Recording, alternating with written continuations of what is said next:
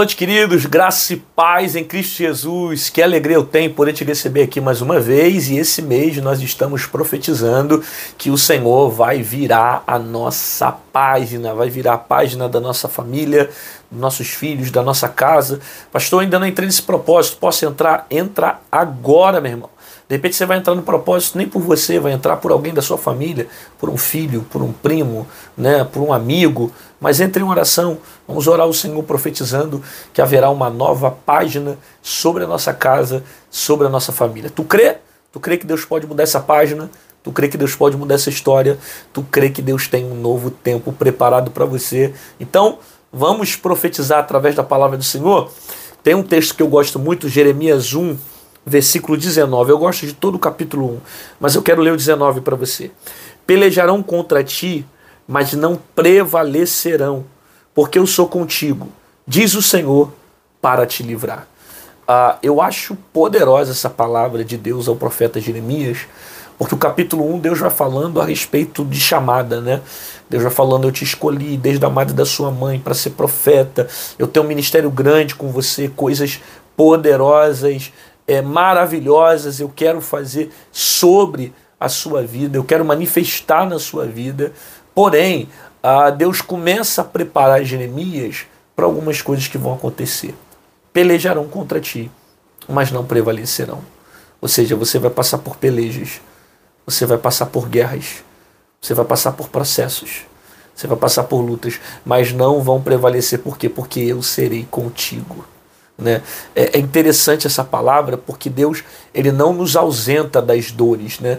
Deus não nos ausenta dos sofrimentos, Deus não nos ausenta das guerras, Deus não nos ausenta das lutas, Deus não nos ausenta das dificuldades, Deus não nos ausenta dos problemas, das crises, das adversidades. Pelo contrário, ele disse que nesse mundo tereis aflições, porém, tenha bom ânimo que eu venci o mundo. E se Jesus venceu, ele também nos dá força para vencer as adversidades. Então, eu preciso ter isso na minha cabeça. Deus vai virar a minha página, Deus tem um novo tempo para mim, mas para que essa página seja virada, eu preciso entender que vão se levantar contra a minha vida, pelejarão contra mim, vão armar contra a minha vida, vão tentar me atacar. O diabo não vai ficar satisfeito com a minha vida, ele vai tentar colocar situações para me parar para atrofiar minha fé, para estagnar o meu coração. O diabo vai tentar me destruir, o diabo vai tentar me atacar, me paralisar, para que eu desista dos propósitos que o Senhor tem preparado para mim. Mas eu preciso crer nessa palavra: pelejarão contra ti, mas não prevalecerão. Vão te atacar, mas não vão prevalecer. Vão se levantar, mas não vão prosperar. Vão se levantar, mas eles não vão vencer. Eles não vencem a luta, eles não vencem a guerra, eles não vencem a adversidade, eles não vencem a tempestade, eles não vencem o processo que você está enfrentando por que, que não vencem? Porque o Senhor está contigo.